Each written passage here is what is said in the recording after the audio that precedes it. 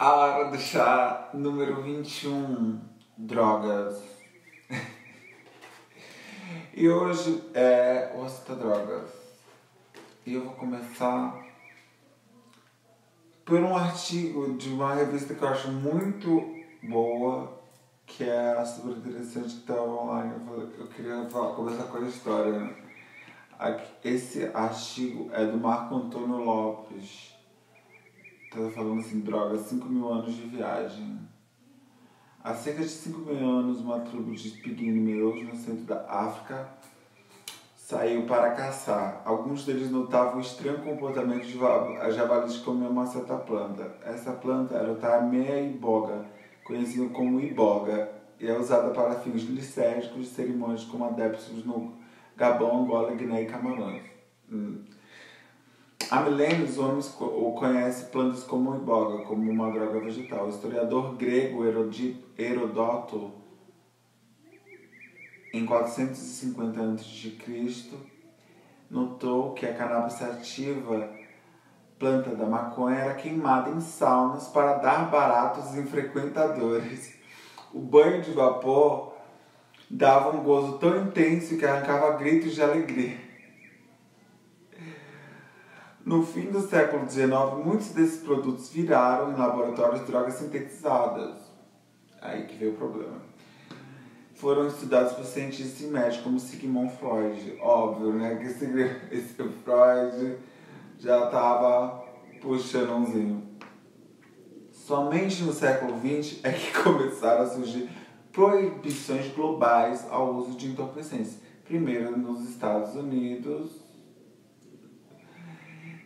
e em 1948. Em 1961, mais de 100 países, Brasil entre eles, após uma convenção da ONU. Segundo o relatório publicado pela entidade de 2005, há cerca de 340 milhões de usuários de drogas no planeta. Movimentam um mercado de 1,5 trilhões de dólares ao longo da história, as drogas tiveram usos múltiplos que alimentaram e esprearam a alma humana, diz o professor da USP, Henrique Carneiro, autor da pequena enciclopédia da história das drogas e bebidas. Elas deram origem a religiões, percorreram o planeta como comércio, provocaram guerras, mudaram a cultura, música e moda. Acompanhe agora uma viagem pela história, vamos ver.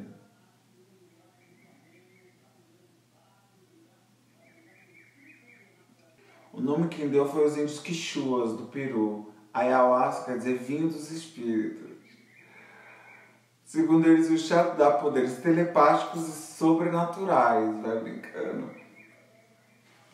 É, e, mas quiuxas são apenas uns 70 povos na América Latina que tomaram o chá com frequência. Na maioria dos casos, o chá é visto como uma divindade a Alaska também serve ao prazer. Ao final dos rituais, muitos índios transam com suas parceiras. No século XX, a fama do chá correu o mundo. Escritores viajam para a América do Sul, encontram calor e umidade, dormem em aldeias para ter experiências alucinógenas. O povo já faz é tempo né, que está fazendo é, experiência alucinógena. É, ó, hoje o site é é divulgado em mais de 400 mil sites. A galera da Huasca. Que existe até pacotes turísticos em cidades clandestinas. A pessoa paga hotel, avião e visita tribos que fazem o culto. O custo é entre mil a 1.300 dólares. Tá passada? Cerca de 10% das, mais, das 50 espécies de cacto têm propriedades alucinógenas. Tem um cacto mas eu vou, não vou ler tudo porque isso aqui é gigantesco, é tipo realmente uma história. Olha só. A cocaína. Esse aqui agora é um artigo de história que eu ler, que eu achei muito interessante. No, nos Andes, né, que os incas já usavam a folha de coca comprovadamente há 5 mil anos. A folha de coca, cujo consumo mesmo se em grande quantidade então a mais eles os povos nativos da América do Sul eles mastigavam para ajudar a suportar a fome a sede o cansaço sendo ainda hoje consumida legalmente em alguns países Bolívia sob a forma de chá e a absorção do princípio ativo por esta via muito baixa. Os incas e outros povos dos Andes usaram certamente permitiram trabalhar as altas atitudes, né? Porque quando você vai para os Andes, são montanhas gigantescas, né?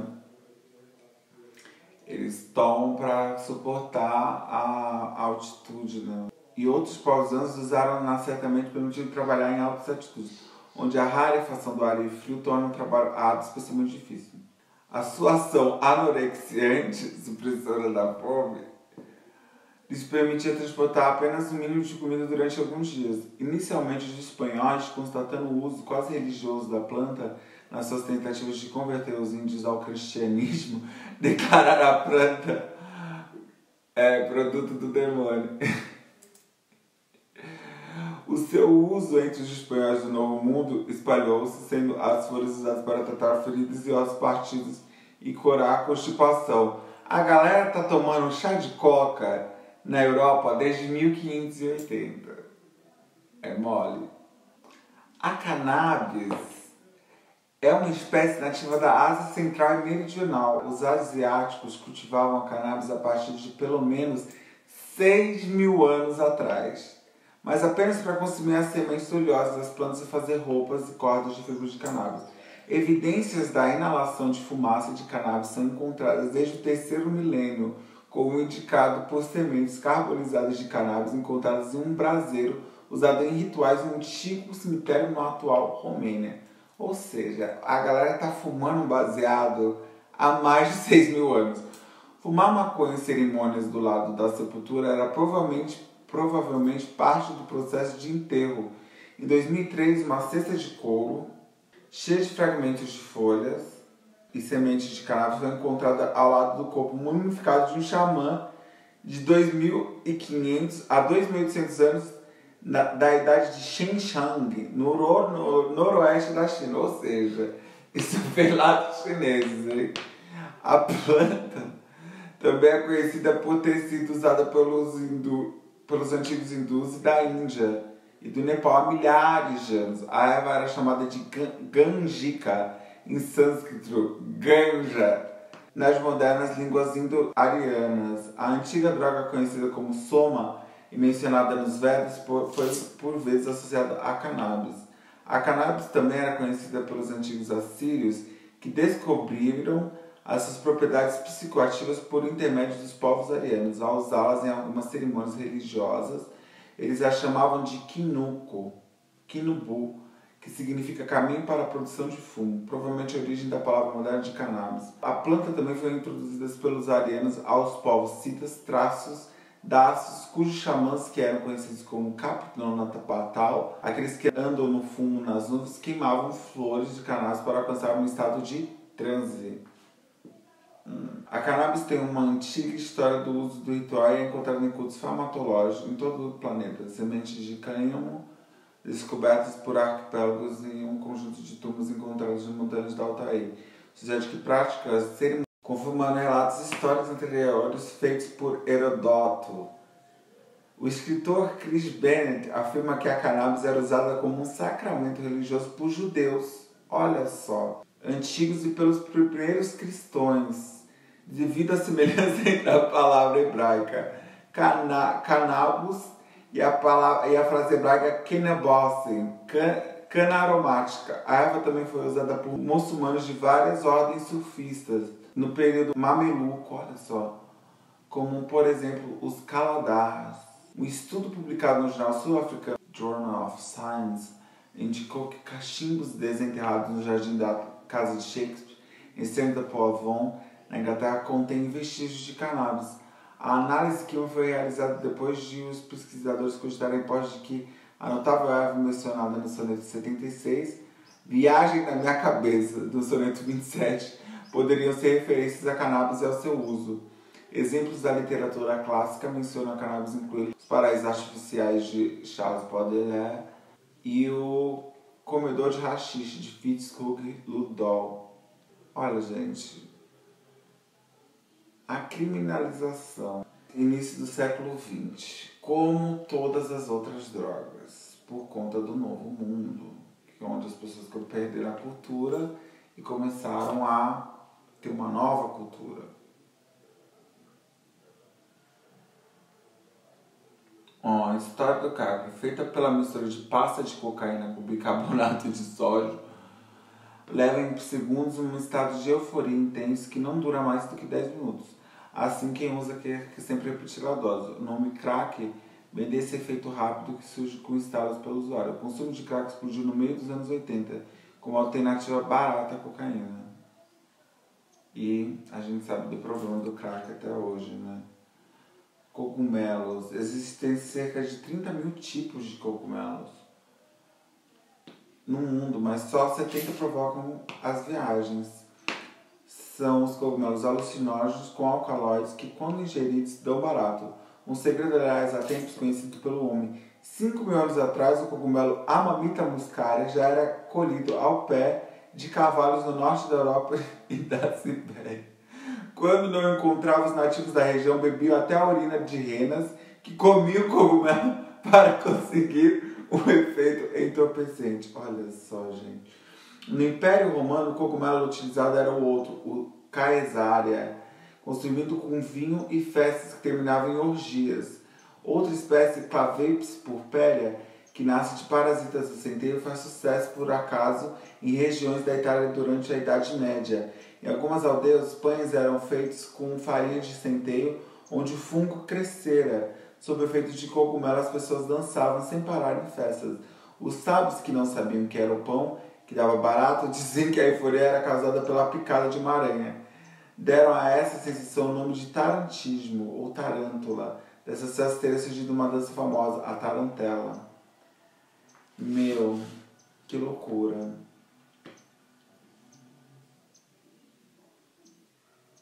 Aí tem o rachixe, tem o êxtase, que é interessante perguntar, que surgiu em 1912.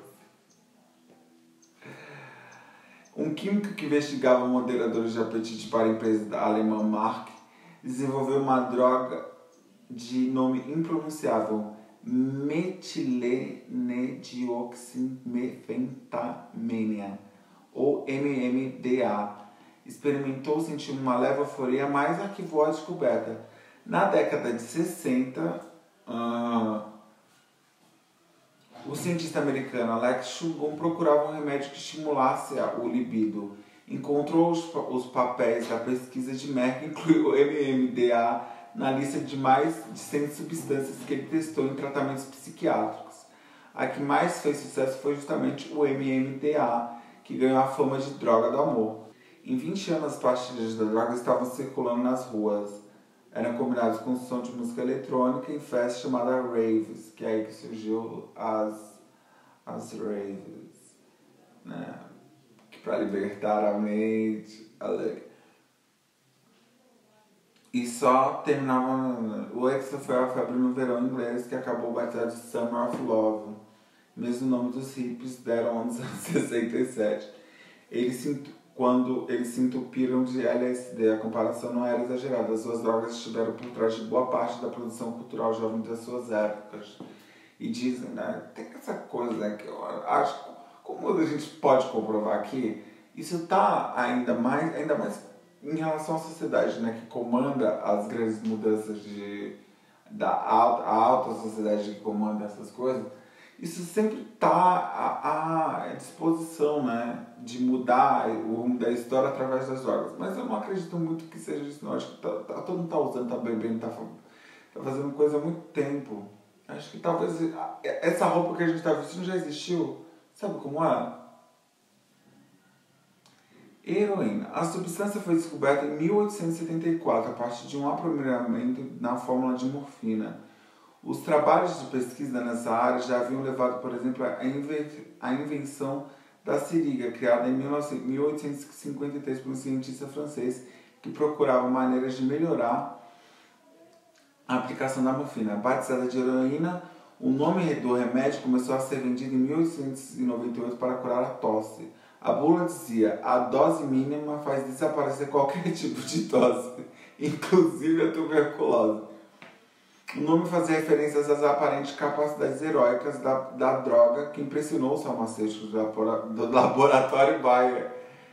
Logo se descobriram também que injetada heroína era uma droga de efeito veloz, poderoso que provocava dependência rapidamente. Viciados em crises de abstinência têm alucinações, cólicas, vômitos e demais. Assim, a heroína teve sua comercialização proibida em 1906 nos Estados Unidos. Em 1913, o fabricante alemão parou de produzi-las, mas ela manteve intensa circulação ilegal na Europa e principalmente na Ásia. A droga voltou a aparecer nos Estados Unidos somente nos anos 70, quando soldados é, servindo na guerra do Vietnã começaram a consumi-las com asiáticos. Estima-se que cerca de 10% dos, veterana, do, dos, veter, dos veteranos voltaram para casa viciados. LSD.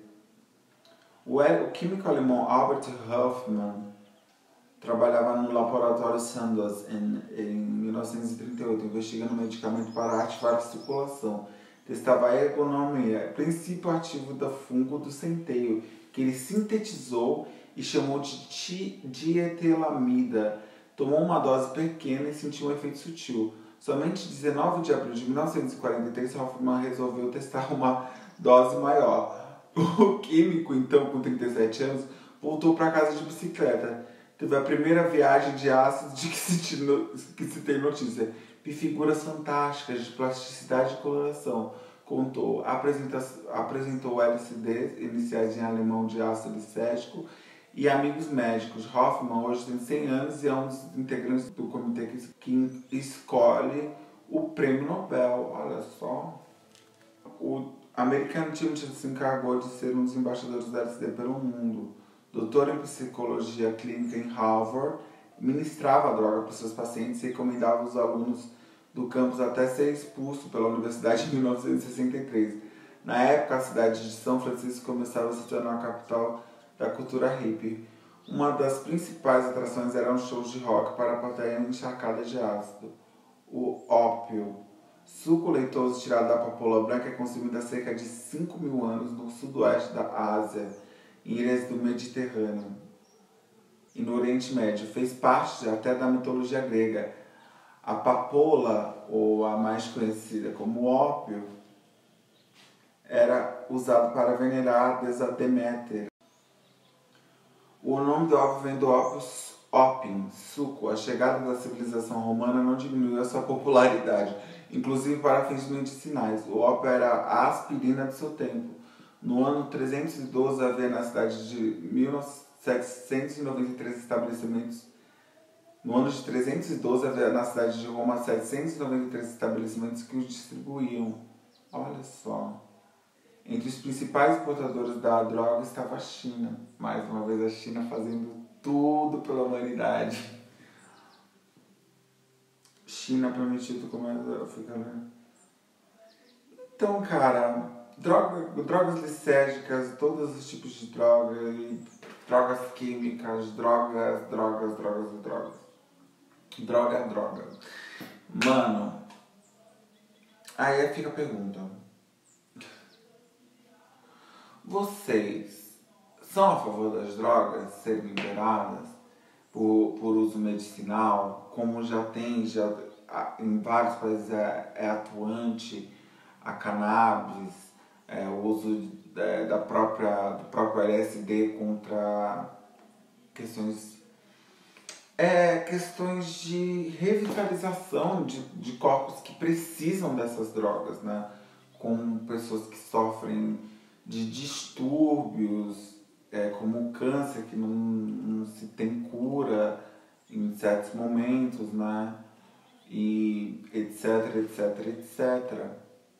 Bom, a onda toda é assim, eu acredito que tudo é um comércio, né? Todo mundo sabe muito bem que isso é tudo um comércio. Por exemplo, aqui no Brasil, imagina o Brasil, um país que é. Imagina a venda de, de maconha como se fosse descriminalizada, né? Isso seria muito importante, porque tem pessoas que têm, sofrem com problemas de câncer muito sérios, né? a única droga que resolve o problema dessas pessoas é justamente o, o a maconha ou a cannabis ou a sativa, indica, não sei. E outras tantas drogas, né? Mas a onda toda é.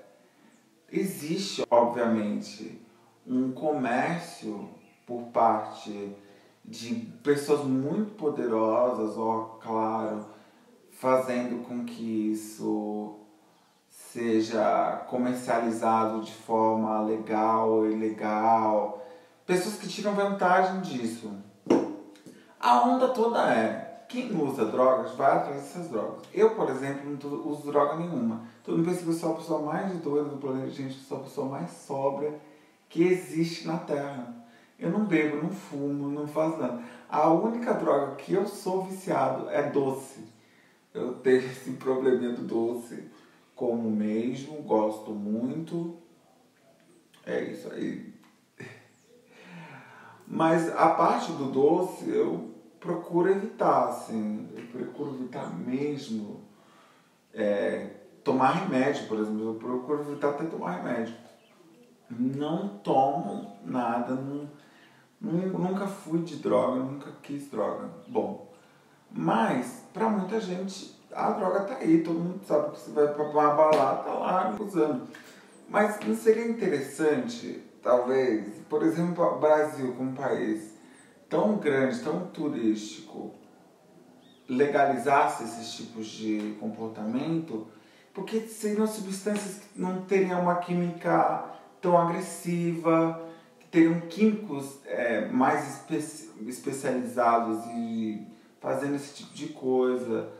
E mesmo as licérgicas, porque no final das contas as pessoas vão comprar tudo isso. Isso gera um, uma é, literalmente uma cadeia para pessoas que vivem desse, desse comércio e é um, algo terrível. Claro que se legalizassem, quem ia ficar com a maior parte já seriam essas pessoas que administram essas drogas. Mas isso é o maior problema da população hoje em dia mundial. Vem dessa situação de ilegalidade de substâncias.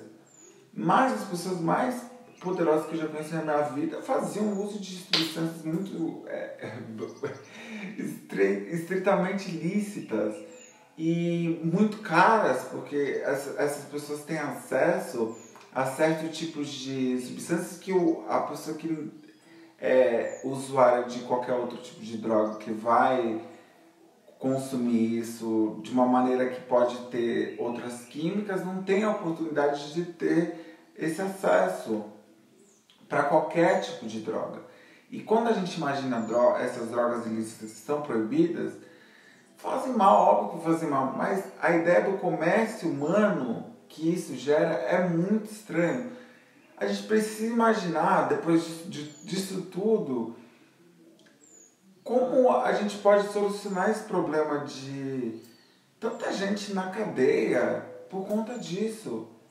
Claro que eu, eu sou do, do favor de legalizar tudo, porque o, que, que, vai, o que, que adianta prender alguém que sendo que a, a maioria das pessoas que tem mais poder que está consumindo, ou mesmo as, quem tá. Quem vai comprar, vai comprar do mesmo jeito.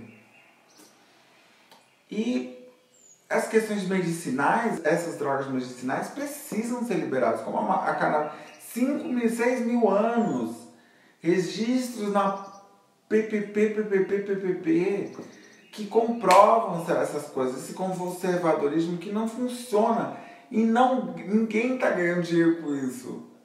As pessoas estão é, perdendo seus filhos, gente muito rica, exemplo, é, por conta da, dessa questão do, do que não é uma, uma via de mão só, é uma via de mão dupla. E gera todo esse caos. Ninguém está ganhando dinheiro com isso, entendeu? A ideia de, de você se alucinar, de você, você. Você pode entrar em barato com um livro, uma meditação. É, ou os índios, os índios faziam uso da, de plantas lisérgicas, né, os índios brasileiros é, fumavam o famoso cachimbo da paz, que não era o, era o ácido, não era a maconha, depois os portugueses já, traz, já trouxeram imediatamente.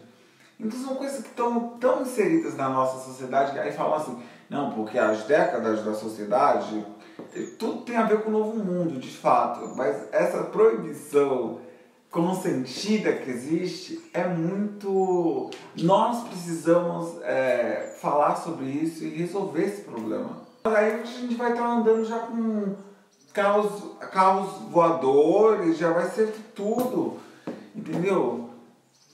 A dívida que tem com os corpos negros, com corpos periféricos em relação a isso é muito triste, porque é uma hipocrisia. É uma hipocrisia que precisa precisa de atenção, precisa de resolução imediata, resolução de corpos, resolução.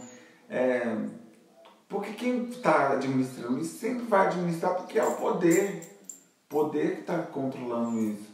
Então, que controle de uma maneira mais saudável a população.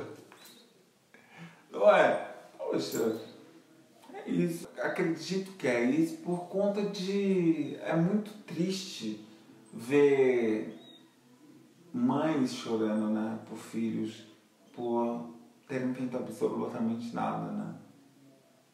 E a comida pode ser uma droga, né?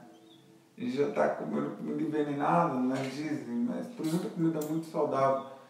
Mas eu, eu espero, honestamente, que no futuro nós tenhamos o nível de, de civilidade para resolver esses, esses assuntos e que nós todos é, sejamos